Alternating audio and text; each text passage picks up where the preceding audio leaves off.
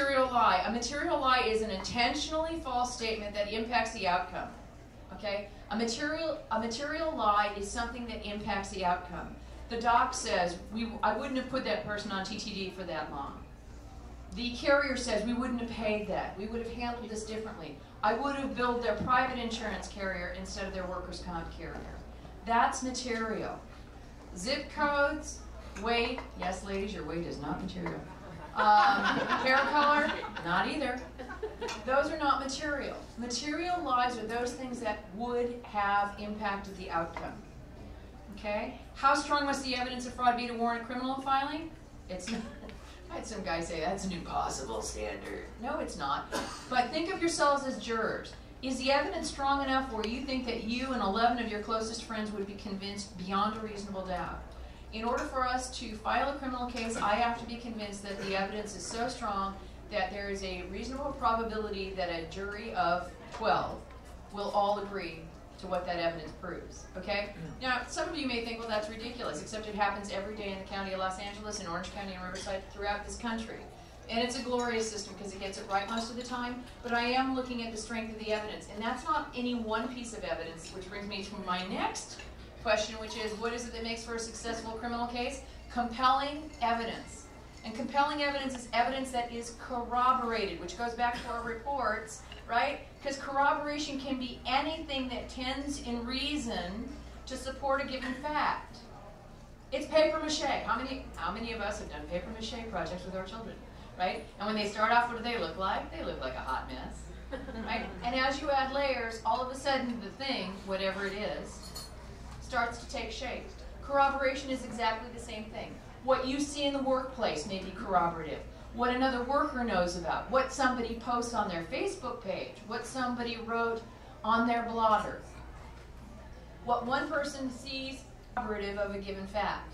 Which takes me back to my rule that I announced before, that I have learned to live with, which is if it isn't written down, it didn't happen. If you know something, write it down. If you have a suspicion, write it down.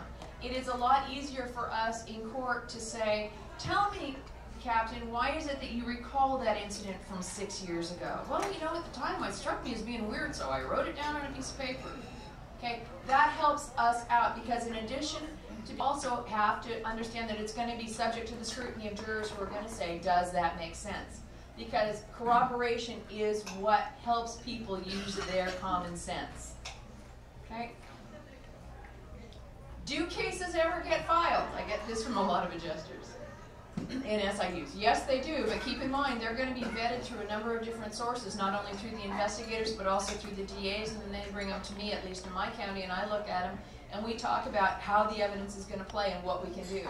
Do we need it gift wrapped in a Tiffany box? No, we do not. But we want to be sure that whatever we walk into court with is strong. Why? Because what goes into court is the best representation of what it is that really is out there. And we want to make sure that what we're demonstrating to the public is we're doing strong investigations, we're doing good investigations, and we're getting it right once, the first time.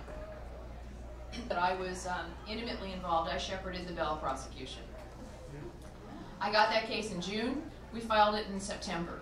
Believe me, if I had been interested in solving all of the curiosity questions and answering all of my innate questions about what was going on in Bell and why, we'd probably still be investigating it and we wouldn't have six convictions. Okay, that's not the way it's working in the LADA's office. We may not answer every question that somebody has.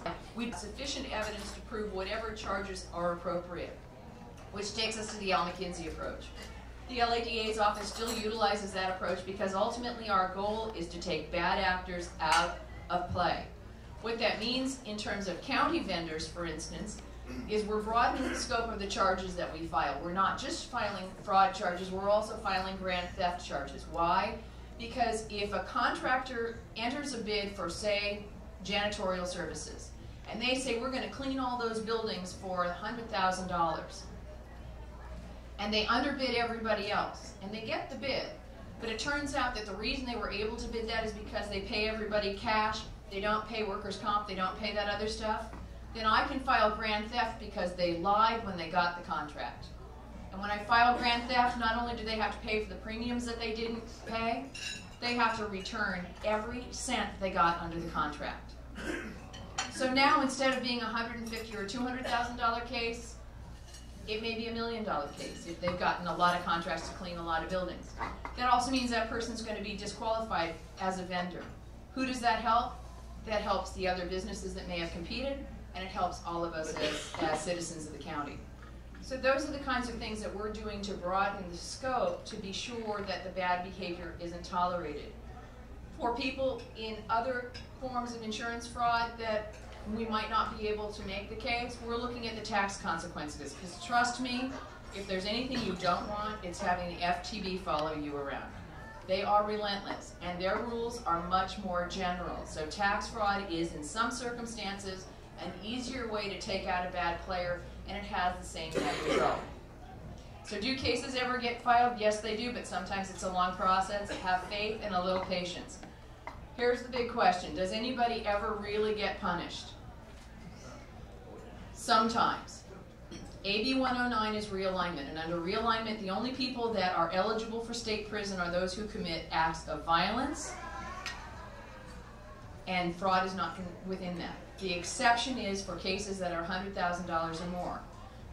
There can be jail sentences or local, it's called local prison for people who commit fraud under $100,000, but that means that they go to the county jail and then it becomes a matter of administration by our local sheriff as to whether or not they're going to stay there.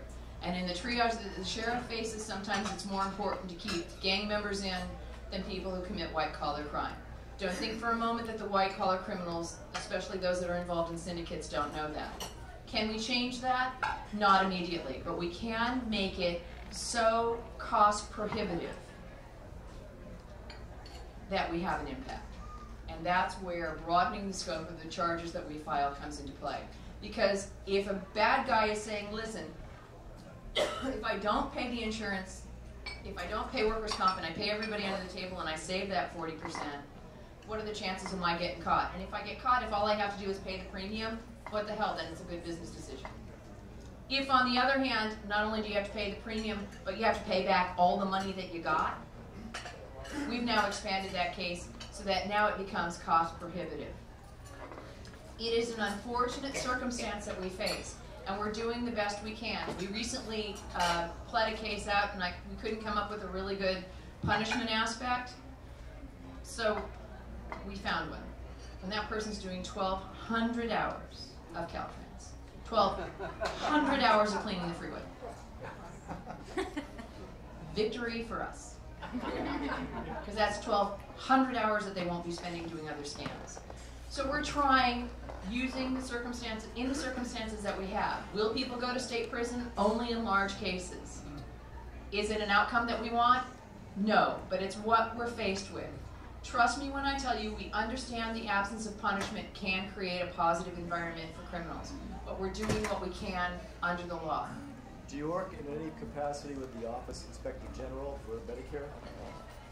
We interface, in fact, I just got a case from HHS. We interface with my federal partners as well as my partners at the Attorney General's office to try to see who's in the best position to be able to handle this. Anybody on the state side, though, is stuck with AB 109. What are we doing to battle these cases? We're continuing our outreach with stakeholders. And as David said, that goes beyond county lines. And if I can't help you or David can't help you, we will find, find our counterparts. I'm interfacing with them on a regular basis. This is a cooperative effort. You know, some people believe in isolationism. I do not.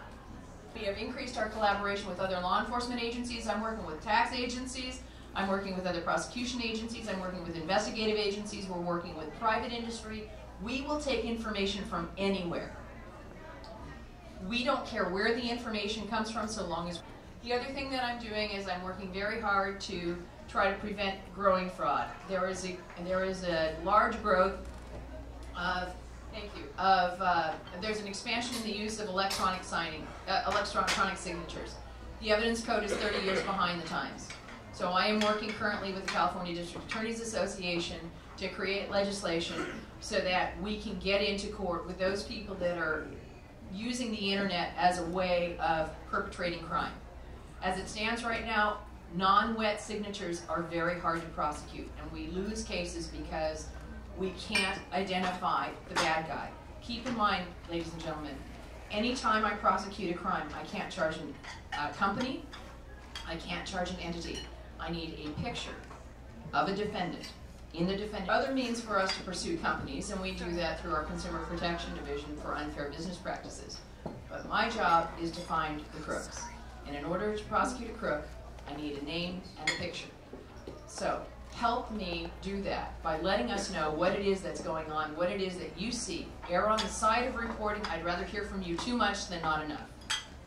Is there anyone you can talk to about this? The answer on the bottom of this is an uncategorical, absolute yes. Call me, text me, write me, email me, or Captain Goldberg, since he's been kind enough to offer it up. I'm dead serious about this. I, if I can't handle it, I will find a place for it. I will tell you on the front end if you have any doubts whether or not it sounds like something that ought to be reported. Err on the side of contact because until we make greater inroads on this and until we can have a broader impact, there are going to be segments of our society that are going to capitalize on what is largely an honor system. Democracy is based upon honor. Democracy is based upon truth and justice. And so for those of us that really believe in the system, we have to do battle and understand that there is no acceptable lie. This notion of saying, well, it's okay because it was only a little lie, is not okay. There are administrative things that you can do, and I would encourage you to do, to drop this tolerance of lies. And if it's a material lie, make my day, send me an email, and we'll go after it. Thank you for your time and attention. I wish you a glorious new year and a happy holiday season. Thank you for having me.